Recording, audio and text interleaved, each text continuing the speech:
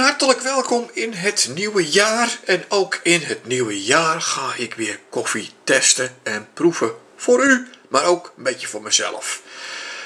Uh, ik heb mijn uh, Nespresso-apparaatje tevoorschijn gehaald en uh, lekker afgestoft en afgesopt. Dat was ook echt nodig. Hè? Hoe kan dat nou?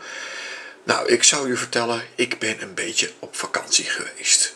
Weliswaar wel in Nederland, uh, maar ik ben er gewoon even tussenuit geweest. Even lekker weg met de kerst dit keer. Nou, een tijdje thuis geweest te zijn. Uh, waar ben ik dan geweest, hoor ik u vertellen? Nou, dat ga ik niet vertellen. Echt niet. Want uh, ja, dat is privé. ik kan wel vertellen, er zijn wel heel veel nieuwe gebeurtenissen voor mijzelf in aankomst. En een van die gebeurtenissen, nou ja, laat ik het maar zeggen, ik moet een paar mensen hartelijk bedanken. En dat doe ik ook via deze video. En dat is, eigenlijk dat zijn mijn ouders.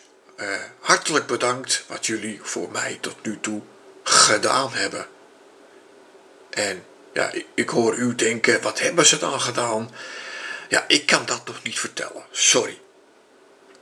Wat ik wel kan vertellen is, uh, er zijn weer nieuwe spelers bijgekomen in Koffieland.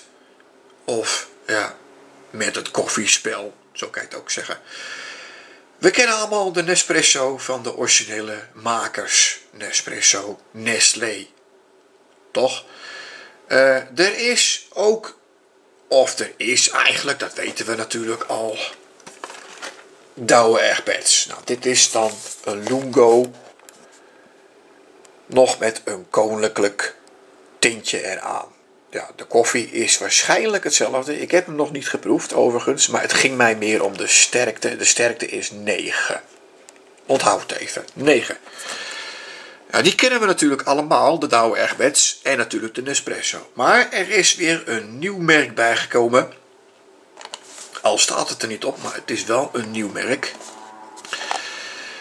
René, dat zegt u waarschijnlijk helemaal niets. Uh, mij ook niet. Wat ik wel weet, het is een beetje grappig ook wel en eigenlijk ook wel logisch. Het is een Pools merk. René, je zou zeggen, ja, Frans misschien of... Nee, het komt uit Polen.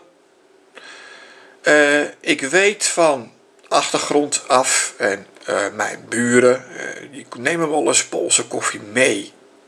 En daarvan weet ik, ja, het zit geen merk op. Maar daarvan weet ik dat het behoorlijk lekkere koffie is. Maar ja, toen hadden ze nog geen cups. En ja, dit is dan wel een merk en die heeft ook cups en pads. Maar in dit geval ook cups. Nu komt het, het allernieuwste merk staat er ook niet op. Maar het is wel een behoorlijk nieuw merk. En ook de sterkte is weer 9, zodat alles weer eerlijk gaat. Ja, u kent het van de reclame. Filo Noir. Ja, mijn Frans is niet helemaal perfect. Sorry daarvoor. Uh, ook dat geeft de suggestie, het is een Franse koffie. Uh, Oké, zo zou je het kunnen noemen. Uh, ik weet het, het, komt een beetje uit de Alpen. Niet uit de Franse Alpen. Eigenlijk ook een beetje uit de Zwitserse Alpen. En ook eigenlijk helemaal niet. Want wie zijn nou de makers van deze koffie? Ja, degene die dat koffie gekocht heeft, ja, die zal het misschien weten. Maar hoewel, er staat een nieuw, uh, een nieuw zal ik het noemen, een nieuwe merknaam op. En ik moet even spieken waar ik dat gelezen had. Uh, even, oh ja, hier op de onderkant. Melondes. En dat zegt u waarschijnlijk niets. Nou, ik zal het geheim vertellen. Melondes zijn de jongens achter Milka. Ja, dat klopt. Het craftfood was het eerst. Uh, maar nu zijn ze dus van uh, van naam veranderd. Dus ja, dan ben ik dus extra nieuwsgierig. Wat maken ze ervan, die gekke Amerikanen? Want het valt onder een Amerikaans dakje, eigenlijk. het hele gebeuren dan. Uh, waar deze koffie dan oorspronkelijk gemaakt wordt, dat, dat kan ik nog niet uitmaken. Maar laten we, zeggen, laten we maar zeggen, het, het zit wel goed daarmee. Goed, ik ga gauw koffie maken en zetten. En daarvoor moet ik hem eigenlijk ook aanzetten. Was ik even vergeten. Hebben we ook water? Ja, we hebben water, maar geen water genoeg. Hé, verdorie. Nou, ik ben niet goed voorbereid. Het is ook, ik ben ook net thuis. Ik moet het mijn draai ook even vinden. Maar goed, ik zal een beetje water bijtappen. Ik klets even door, even buiten beeld. De machine gaat dan gelijk even aan. Weet u meteen, ook meteen hoe dat gaat. Het is niet zo'n ramp, maar ja, het kost allemaal weer tijd. Hè. tijd hebben jullie allemaal niet. Jullie willen allemaal, geloof ik, heel snel dat filmpje bekijken. Ja, als je geen geduld hebt, dan sla je gewoon eventjes over nu. En dan ga je gewoon naar minuutje, weet ik veel waar. En over minuten gesproken, ja, u heeft gelijk hoor. Eh, we zijn al zes minuten bezig en nog geen koffie. Nou, ik doe er vast een zoetje in bij elke. Ja, ik ben het nou eenmaal gewend om te drinken. Ik zou moeten zeggen dat ik dat eigenlijk niet zou moeten doen, maar... Nou, ik begin met de... Ja, ik begin ze maar gewoon maar open te maken. En dat gaat nogal lastig misschien, maar... Ja, nou, gaat het lukken. Ja, heb.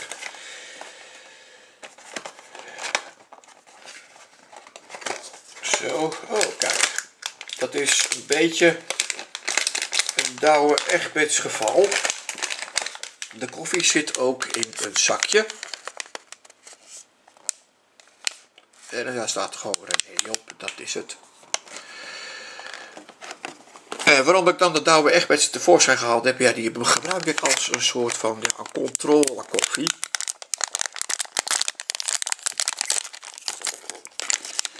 In tegenstelling tot Douwe Egberts hebben ze hier wel een folietje erop gedaan. Maar de rest ja, is eigenlijk hetzelfde. Maar ik ben heel erg benieuwd. Het gaat een beetje lastig. Misschien zit er anders in. Even kijken hoe dat gaat. Nee, toch niet. Misschien moet ik wat harder drukken.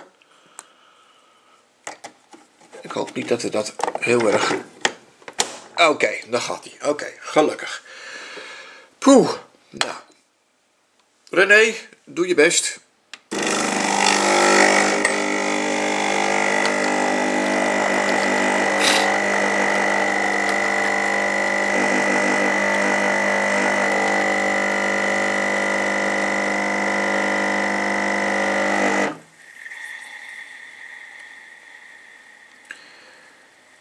Is goed gegaan, alles is nog heel en voor een onbekend merk en iets goedkoper merk schuimt die behoorlijk goed.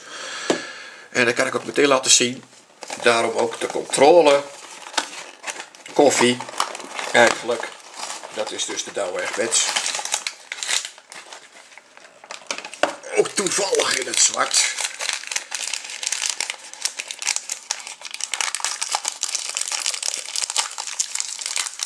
Nou, die doe ik gelijk eventjes in een grotere beker.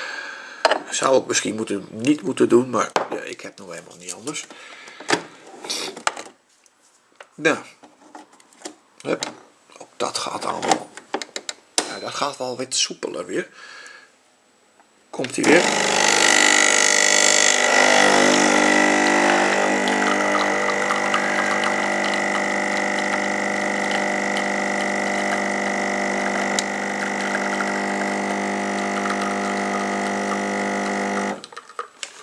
Kijk, die, die gaat er al heel vlugger doorheen. En ja, ik zie het een klein beetje door de vingers, omdat het een grotere beker is. Er zit wat minder schuim in. De kleurschuim wisten we ook al, die is wat lichter. Nou komt het, eindelijk. We gaan de allernieuwste koffie uitproberen. En ook dit pakje is nu wat steviger. Uh, het lijkt een beetje op de zakken chips. Er zit ook wat meer ruimte in. Die zou makkelijk nog een eentje bij kunnen. Nou goed. Ja, en hij is inderdaad behoorlijk stevig ingepakt. Misschien een beetje overdreven. Dit zou toch een hele andere koffie moeten zijn, zeggen ze. Want het is uh, donker. Of in ieder geval uh, met ijs en vuur en heel uh, rattenplan meer. Ja, ik weet niet beter dat het volgens mij al gedaan werd, maar oké. Ja, je ziet het wel. In dit geval een ander cupje. Ja, daar krijg ik al kriebels eigenlijk al van. Maar dit is toch weer van een, uh, zachtere materiaal gemaakt. Nou goed, laat het maar hopen dat alles goed gaat. Dit gaat in ieder geval nog wel goed. Nou, ik ga hem nu aanzetten.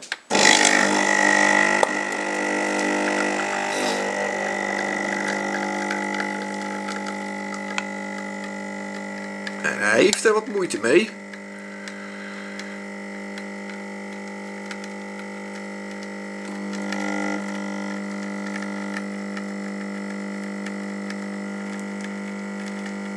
Maar dat hoeft in feite ook helemaal geen problematisch te zijn of iets dergelijks.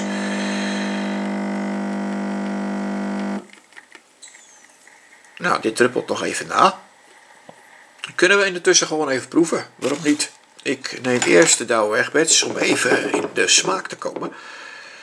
Proost, Douwe.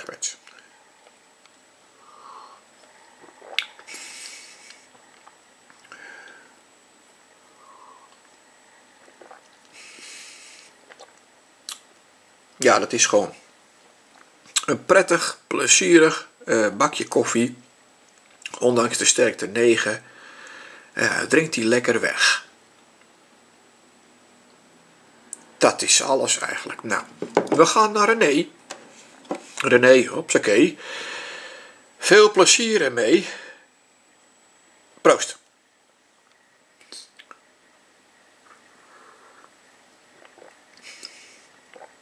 Ja, oké. Nou, dit is typisch een bakje koffie. Uh, waarvan je zegt, nou, ik neem hem mee naar mijn werk. Lekker voordelig. En uh, ik plezier mijn uh, collega's, CQ, vrienden. Nou ja, vrienden misschien ook net niet. die plezier ik daarmee. Want ja, dan, tenslotte, ik neem iets luxe mee. Het is niet zomaar een bakje koffie. Nee, het is een bakje koffie van René uit een cupje. Een beetje een doorsnee koffie, eigenlijk. Eh, niet speciaal. Eh, ook niet erg sterk en ook niet al te slap. Wel slapper als die van Douwe Egberts. Dus tot nu toe wint Douwe Egberts het nog steeds. Goed, nu dus het moment hij lijkt anders te zijn. Uh, de schuim sowieso bruiner. In dit geval, u ziet het misschien niet, maar in dit geval bruiner. Proost. De hele speciale hete en koude koffietechniek. Ik neem nu een slok.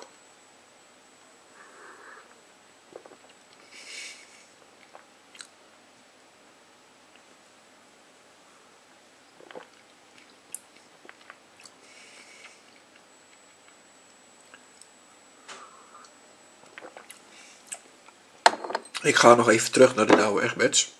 Ik hoef niet terug naar René te gaan, want dat ga je echt een heel eind terug. Hoewel deze koffie toch goed is hoor, eh, onthoud het. Het is toch een aanrader.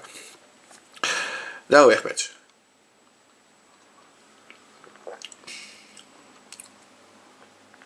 Ja.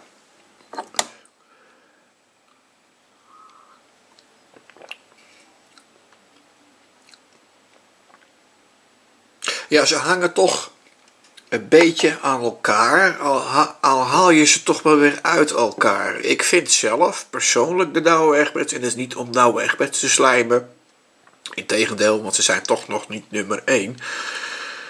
Uh, eh, ja, die vind ik dan toch lekkerder. Uh, eh, ga je naar de prijs-kwaliteit kijken, ja, dan word je toch weer een, eh, tot nu toe ja, heel erg getrakteerd eigenlijk. Want dit merk is dan toch weer goedkoper. En in dat geval zou ik het dus wel kopen. Als het die prijs blijft met deze kwaliteit. Maar smaken verschillen nu eenmaal. En had je het voor het kiezen en hoef je niet naar de prijs te kijken, ja, dan neem ik toch de oude Egberts. En wil ik echt een heel feestje hebben, ja, dan ga ik toch weer terug naar een Nespresso. En dat is het eigenlijk. Een lange test dit keer. Ik hoop ook echt de laatste. Nou ja, in dit geval dan. Misschien komt er nog een ander merk.